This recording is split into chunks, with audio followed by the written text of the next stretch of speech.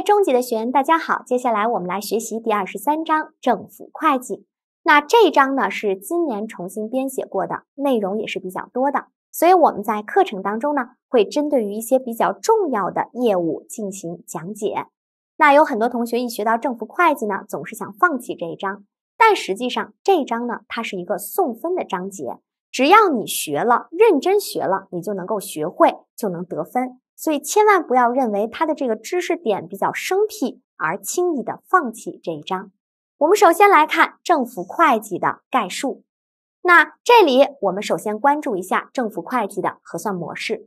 政府会计呢，包括预算会计和财务会计，它的核算模式呢，就是预算会计、财务会计的适度分离与相互衔接。那这里呢，我们重点关注适度分离。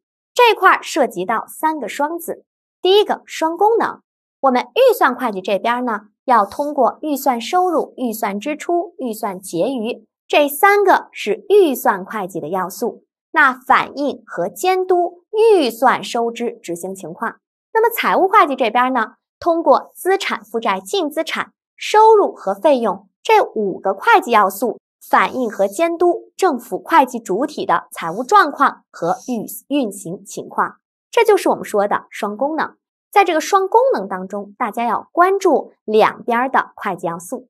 那我们再来看双基础，预算会计一般采用的是收付实现制，国务院另有规定的从其规定。而财务会计呢，我们实行的是权责发生制。那最后一个双报告。对于预算会计，我们编制的是政府决算报告，所以它是以收付实现制为基础的，是以预算会计核算生成的数据为准的。而财务会计这边呢，我们编制的是政府财务报告，所以它的编制是以权责发生制为基础的，以财务会计核算生成的数据为准。好，三个双你要关注一下，来看一下这个提示。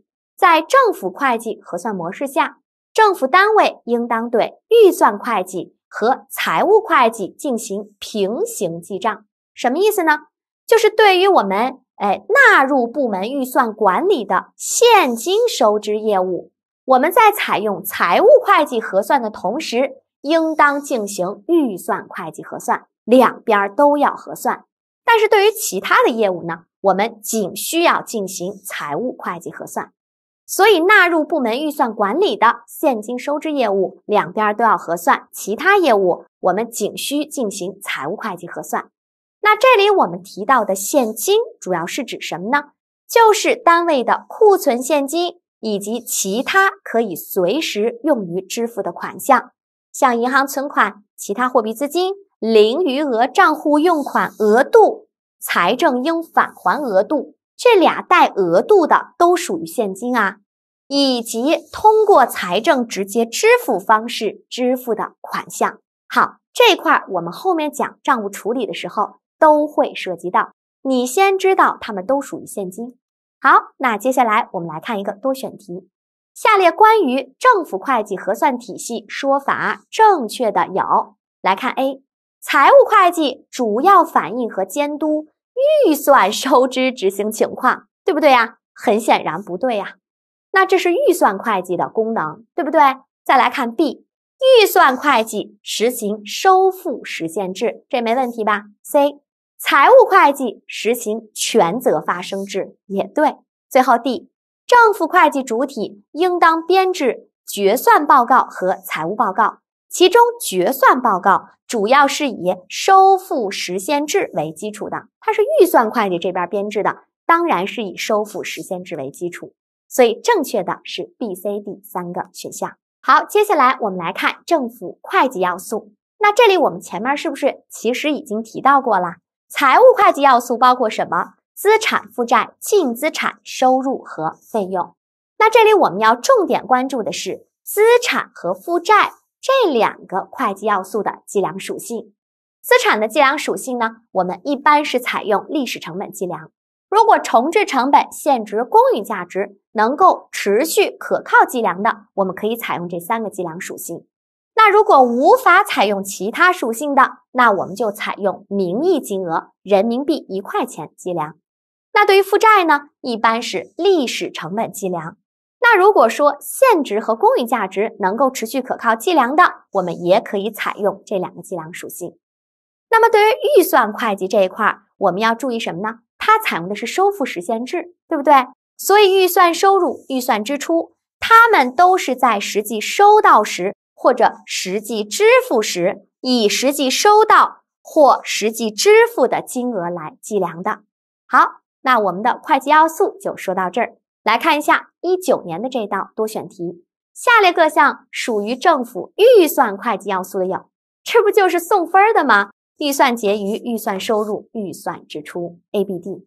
好，我们再来看二零年的多选题，下列各项中属于政府会计中资产计量属性的有谁呀？我们刚刚说有谁来着？历史成本、重置成本、现值、公允价值。然后，如果说无法采用上述的计量属性的，我们是不是名义金额呀？对不对？所以 A、C、D 都要选。有没有可变现净值？这里是没有的，对不对？所以这一块我们选的就是 A、C、D。好，接下来我们来看政府单位特定业务的会计核算。首先，第一个相对来说比较重要的业务呢？就是财政拨款收支业务当中的财政直接支付，比如说我们这个事业单位当月发生了水费五万，财政给你掏了这笔钱了。如果财政是直接把钱打给供应方，打给自来水公司，这就属于财政直接支付。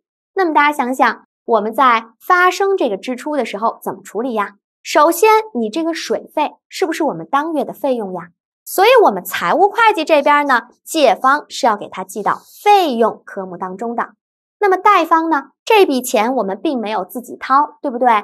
这笔钱是财政给我们掏的，这不就是我们的一笔财政拨款收入吗？所以，贷方我们是要确认收入的。那我们前面是不是提到过，对于纳入部门预算管理的现金收支业务，我们财务会计要核算，预算会计也要核算呀？但是对于其他业务，仅需进行财务会计核算。那这里是不是属于纳入部门预算管理的现金收支业务呀？我们前面在讲现金的时候，最后是不是提到了谁呀？你看一下我们前面那个提示啊。我们前面在讲现金的时候，最后就提到了现金也包括通过财政直接支付方式支付的款项。所以这里是不是就属于涉及到了纳入部门预算管理的现金收支业务呀？那我们财务会计核算完，预算会计也得核算吧？那预算会计怎么核算呢？预算会计的分录可以由财务会计的分录推导出来。那么借方，你这个费用我们对应的是预算会计当中的支出；贷方，你这个收入加上预算俩字儿。我们代记财政拨款预算收入，这就是我们预算会计的核算。好，那发生支出我们说完了，接下来我们来看看年末的处理。如果到了年末，我们的预算指标数大于了实际的支付数，那这个差额怎么处理？你比如说，我们当年的预算指标数是一百万，我们可以花一百万，但是我们实际只花了八十万。那没花的那二十万怎么处理呀？这既然是当年的指标，那我们财务会计就应该在当年确认财政拨款收入。所以贷方你确认财政拨款收入，借方呢你还没花这钱吧？这就是财政应返还的额度，那金额二十万。所以这个财政应返还额度，我们前面讲现金的时候是不是也提到了两个带额度的？都属于现金，这就相当于是你能花的钱，对不对？那既然这个额度代表的是现金，那我财务会计核算了，预算会计是不是马上也得核算呀？那我们的分录怎么推导出来？贷方的收入还是加上预算俩字儿，你借方这个额度不就是现金吗？对于所有的现金，我们在预算会计中都替换成资金结存。明白吗？这就是我们预算会计的分录。所以年末如果预算指标数大于了实际支付数，那我们的差额就怎么处理？那等到下一年我们花这二十万的时候呢？哎，你花这二十万的时候，借方记到费用等相关的科目，贷方呢既然花了，那就没有财政应返还的额度了。贷方我们冲减财政应返还额度，那这就是我们财务会计的处理吧？那你一看分录，分录里是不是有额度就是有现金呀？那么预算会计也得核算吧？那我们怎么推导？你借方的费用换成支出，贷方额度是现金，现金就换成资金结存，这就是我们政府直接支付方式下我们包括的所有的账务处理。好，来看一道例题。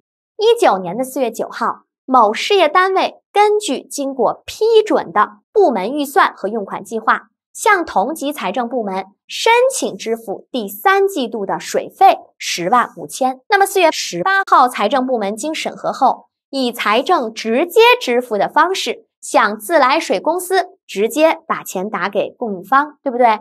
支付了水费十万五千。那么四月二十三号。这个单位就收到了财政直接支付入账通知书，所以我们怎么做处理呀？首先，是不是我们借方要给他记费用呀？这里是记单位管理费用了。那贷方呢？这是财政给我们掏的钱，所以我们财务会计要确认财政拨款收入。那这里预算会计是不是也要处理呀？只要是通过财政直接支付方式支付款项了，这都属于我们说的现金。那预算会计怎么做？贷方的收入加上预算俩字儿，借方的费用换成支出。好，接着往后看，一九年十二月三十一日，某行政单位财政直接支付指标数大于了直接支付实际支出数的金额是十万元，也就是有十万块钱没花呗。那么这十万没花的钱，我们怎么做？财务会计这边，因为它是当年的指标。我们是不是要确认财政拨款收入呀？你要在当年确认收入。那借方呢？这还没花呢，所以这就是财政应返还的额度。那看到额度，不就是看到现金了吗？预算会计得核算吧。借方的额度换成资金结存，贷方的收入加上预算俩字儿。好，接着往下看啊。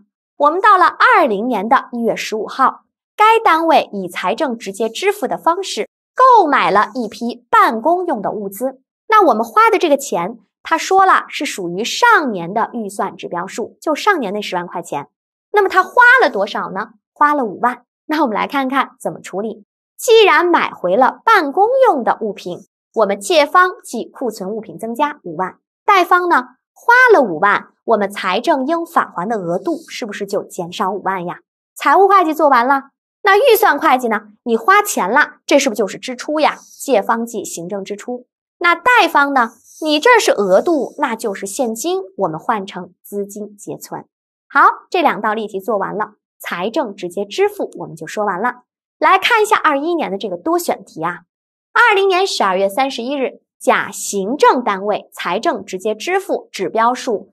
大于了当年财政直接支付实际支出数的金额是三十万，三十万没花，对不对？那么到了一月二十号，该单位以财政直接支付方式购买了一批办公用品，他用的是上年的预算指标数，支付给了供应商十万。好，问我们会计处理正确的有，那这道题是不是就跟我们前面那例题一样呀？你没花这三十万的时候。我们是不是年末要把它确认为二零年的财政拨款收入呀？然后借方记财政应返还额度，这是财务会计的处理，对不对？预算会计贷方是变成预算收入，借方呢那个额度换成资金结存。那么等我们花这个钱的时候呢，你到了下一年的年初，我去买办公用品的时候，那首先借方是不是记库存物品增加十万呀？贷方我们花了十万。应返还的额度就减少十万，那预算会计呢？这个额度就是现金换成资金结存。那你花钱了，我们借方要记支出，所以这就是我们这一块花钱时的处理。那你看一下，根据分录，谁是对的呢？首先是不是减少了应返还额度十万呀？你冲减了十万吗？然后呢，库存物品是不是增加了十万？借方记了库存物品十万。然后增加了行政支出十万，对不对？借方记了行政支出十万，然后 D 减少了资金结存十万。那你看我贷方记资金结存，不就是资金结存减少十万吗？所以 A、B、C、D 都是正确的。所以这块其实只要你学了，基本上都是可以得分的。那接下来我们来看看财政授权支付这一块，相对来说会复杂一点。那我们刚刚讲，财政直接支付是直接把钱打给供应方，比如说打给自来水公司，对不对？但是授权支付呢，是把钱打给用款单位，就是钱是打给我们单位的，对不对？所以我们在收到财政授权支付到账通知书的时候，也就是我们单位收到钱的时候，我们怎么处理？比如说财政拨给我们一百万，我们怎么做？财务会计这边，我们肯定是要确认收入的，对不对？贷方确认财政拨款收入，那么借方呢？你不能记银行存款增加，财政拨给我们的钱。我们是通过零余额账户用款额度这个科目来核算的，你别把它想的太复杂，它就是现金，只不过这个钱是财政拨给我们的，所以我们记到零余额账户用款额度，所以带额度的，它代表的就是现金，是我们能花的钱，这就是我们财务会计的处理。那既然你涉及到额度，涉及到现金了，预算会计是不是也得处理呀？贷方的收入加上预算俩字儿。借方不是现金吗？我们换成资金结存，这就是我们收到额度时的处理。那我们在花钱支用额度时候呢？你比如说我花了八十万，那是不是我们财务会计这边贷方就去减少零余额账户用款额度八十万呀？借方我们记到相关的费用当中。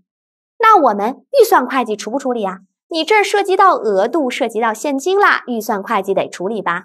贷方的额度换成资金结存，借方的费用换成相应支出。好，首先这两块账务处理你要掌握，一个是收到额度，一个是支用额度。来看例题：二某一九年三月，某单位根据批准的部门预算和用款计划，向同级财政部门申请财政授权支付用款额度十八万，这是他申请的。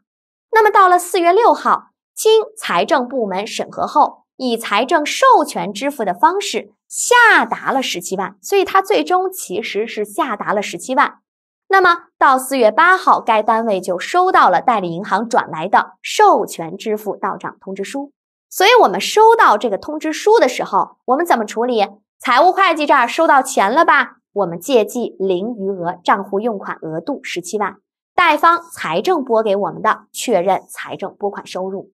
那看到额度就是看到现金，预算会计也要处理，借方的额度换成资金结存，贷方的收入加上预算俩字儿。好，那接着我们来看它后续的账务处理。那刚刚我们说了，是不是举的那个例子，先收到了一百万，花掉了八十万呀？那我的零余额账户用款额度是不是还有二十万的余额呀？但是它叫零余额，那意味着什么呀？意味着到了年末，它不能有余额，所以年末我们就要做注销额度的处理，其实就是将零余额账户用款额度的余额给它转走，转哪儿呢？转到财政应返还额度当中。所以你那剩下二十万没花的，我们先给它转到财政应返还额度，因为它是零余额，年末不能有余额，这就叫注销额度。好，那么财务会计这么处理啦？那你发现没有，借贷方是不是都有额度，都是现金呀？预算会计得做吧？我们借贷方都换成资金结存，这就是年末注销额度的处理。那么到了下年初呢？哎，他还要把额度恢复回来，那实际上就是做一个相反的处理啦。我们再由财政应返还额度给它转为零余额账户用款额度，做个相反的分录。那借贷方都是额度，都是现金，那我们预算会计也要核算，都换成资金结存。这就是我们财政授权支付这块的第二个处理，就是年末注销额度，年初恢复额度的处理。还没完，它还有最后第三块处理。你比如说，我们刚刚收到的是一百万，但是我告诉你，我当年的预算指标数是一百五十万，那你实际下达了一百万。那这个差额五十万是不是就是我们没有下达的指标呀？但是它确实是我们当年的指标，怎么办？预算会计这儿，我们这没有下达的五十万，我们要在当年确认收入。那借方呢，还没收到呢，所以这是财政应返还的额度。那你看到额度，是不是看到现金啦？那我们预算会计也得核算吧？贷方的收入加上预算俩字儿，借方的额度换成资金结存。那么等到我们下一年收到这上一年未下达的额度五十万的时候，我们怎么处理？你收到了这个额度了，那借方就可以记零余额账户用款额度增加了，那贷方呢就没有应返还的额度了。那你看，借方、贷方是不是都是额度，都是现金呀？我们都换成资金结存，好吧？所以到这儿授权支付就讲完了。来看看例题：一九年十二月三十一号。某事业单位依据代理银行的对账单，将十五万元零余额账户用款额度予以注销，所以它首先涉及到的是年末注销额度的处理。来，先把这分录做了。注销额度是不是就是将零余额账户用款额度转为财政应返还额度呀？对不对？所以借记财政应返还额度，代记零余额账户用款额度。那你借贷方都是额度，都是现金，来预算会计，借贷方都是资金结存。那么等到下一年的年初呢，我们是不是要恢复额度呀？来，再做个相反的分录，我们再给它恢复回来。所以借方增加零余额，贷方冲财政应返还额度。那借贷方我们都换成资金结存，这就是注销额度、恢复额度的处理。好，还没完，还有其他的资料，大家看一下。那另外，本年度财政授权支付预算指标数大于零余额账户用款额度已下达数，那么未下达的用款额度是二十万。那对于未下达的这二十万，我们怎么做呢？是不是在年末的时候我们要确认为当年的收入呀？因为你这是当年的指标，但是还没有下达，借方我们就记财政应返还额度。那你借方是额度是现金吧？预算会计得做吧？换成资金结存。贷方的收入加上预算俩字儿，对不对？这就是我们年末补记指标数的处理。那么等到我们下一年收到这个未下达的额度二十万的时候呢？哎，我们借方就可以增加零余额账户用款额度了，贷方就可以冲掉财政应返还额度了。同样，额度就是现金，我们借贷方都换成资金结存。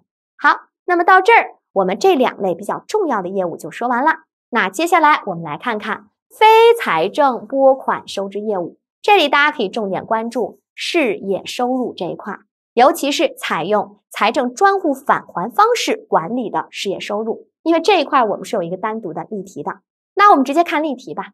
甲事业单位采用财政专户返还的方式管理部分事业收入，那么九月五号。该单位收到了应上缴财政专户的事业收入六百万，那九月十五号他就将上述款项上缴财政专户了。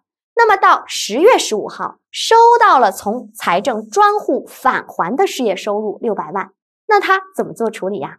首先他在收到应上缴的事业收入时，他是不能确认收入的。借方是银行存款六百。贷方呢，我们是确认负债，因为这是应上缴财政专户的款项，所以我们确认负债。那这一块虽然它涉及到银行存款现金了，但这一块我们预算会计是不合算的。那我们再来看九月十五号向财政专户上缴款项了，那上缴款项是不是就要冲掉应缴财政款了？冲掉负债，贷方银行存款减少。好，接下来就是十月十五号。我们收到人家返还的收入了，那么返还回来，我们就可以确认收入了。借方银行存款六百，贷方确认事业收入六百，那这里我们预算会计就要核算了。那借方的银行存款不就是现金吗？换成资金结存，贷方的事业收入加上预算俩字儿，事业预算收入。所以这块你把这道例题能够理解了就可以了。好，那么接下来我们来看。预算结转结余及分配业务，那这块我没有给大家放具体的分录，你把这一块我们的相关处理原则搞清楚就行了。这就类似于我们企业会计，是不是期末的时候要将收入费用转本年利润呀？然后本年利润是不是还要转利润分配呀？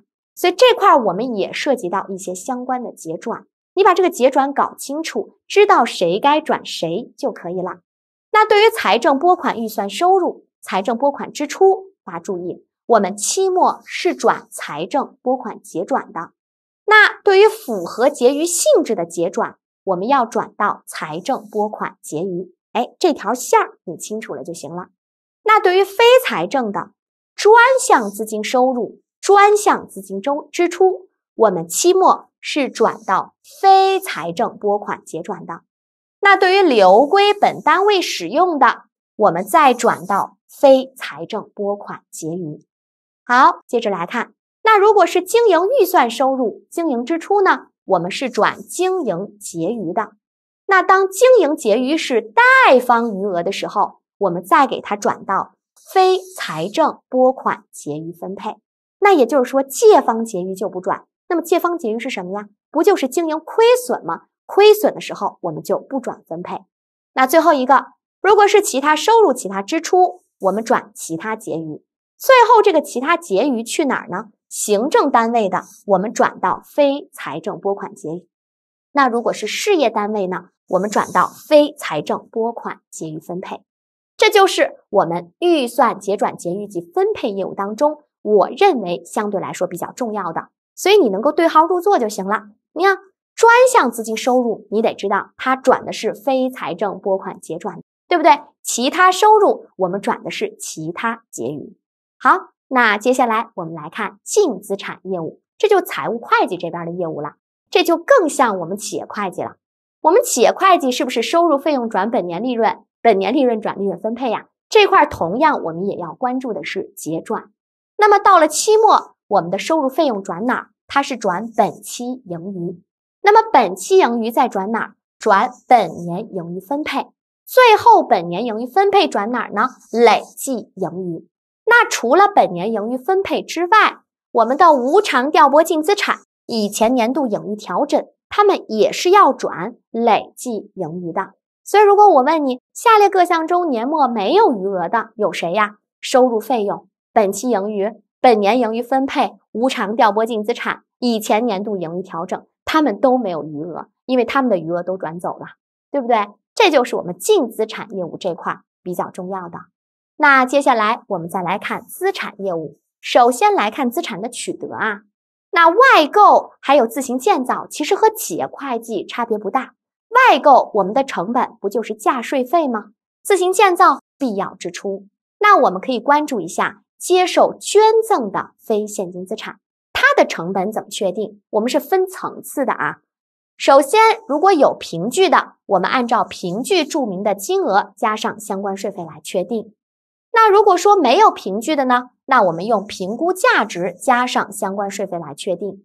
那如果说没凭据也没有经过评估的，我们就用同类或类似资产的市场价格加上相关税费来确定。好，那如果无法采用我们上述的方法的，那就是人民币一块钱名义金额来计量。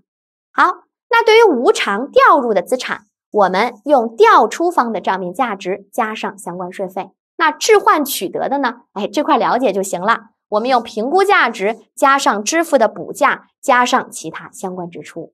好，这是资产取得。那么资产处置这一块呢？我们可以关注一下不同的处置方式下，我们处置资产时它的账面价值是转哪？如果是一般情况，我们的账面价值是转资产处置费用的，这就类似于我们什么呀？我们企业会计处置固定资产，你是不是按照账面价值先转清理呀？那如果你是盘盈盘亏报废毁损呢？我们的账面价值是转入待处理财产损益的。那如果无偿调出呢？我们的账面价值是冲减无偿调拨净资产的。好，我们再来看看固定资产。那这里的固定资产一般包括什么呢？房屋、构筑物、专用设备、通用设备等等，这个你自己看一下就行了。那提示当中的这句话，你可以注意一下，有可能考你一个判断题，就是单位价值虽未达到规定标准，但是使用年限超过了一年（不含一年）的大批同类物资，我们应当确认为固定资产。那么固定资产我们是按月计提折旧的。那么计提折旧的分录，我觉得了解即可。那这里的提示大家需要关注一下，我们当月增加的固定资产，你注意了，当月计提折旧；当月减少的呢，当月不再计提折旧。这是不是和企业会计刚好是不一样的？我们企业会计呢是当月增加，下月计提；当月减少，当月照提。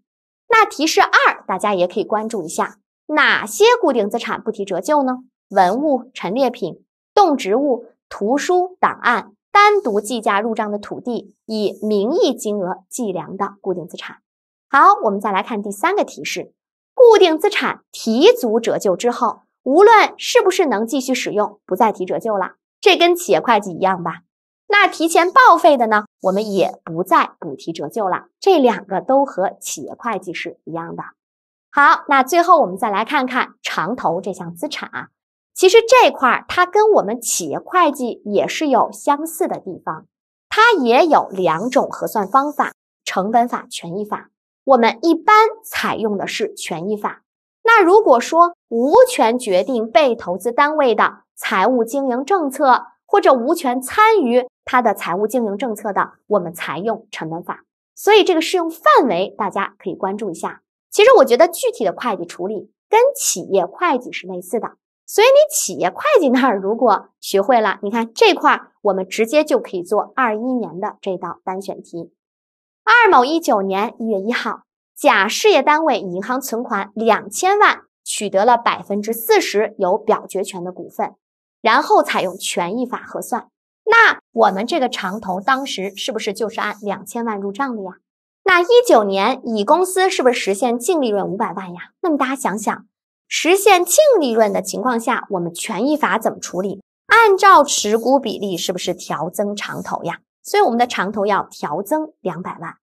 然后到了三月一号，乙公司宣告发放现金股利两百。你想想，宣告股利的时候呢，是不是跟我们企业会计一样？我们要去怎么样？我们要去冲减长投，所以这块是按照持股比例去冲减的。那么三月二十号实际支付现金股利，那支付就。不影响我们这个长投的金额了，对不对？然后现在到了二零年了，乙公司发生了亏损一百万，那亏损的时候跟利润相反，利润是增加长投，亏损就是冲减长投，按照持股比例，对不对？所以你看这道题问什么？就问我们二零年年末长投的余额是多少？那你算一下，一开始是两千万，增加了二百。这里减少了八十，最后又冲减了四十，所以最终我们长投的账面余额应该是 D 二零八零。所以其实这块我觉得你倒没有必要太纠结于它的会计处理，我怕你把这个处理学会了，你忘了我们企业会计的处理了。好，所以其实它的思路都是一样的，你企业会计那儿学好了，基本上我们的处理原则都一样。好。那么到这儿呢，我们政府会计这一章呢就全部都结束了。谢谢大家。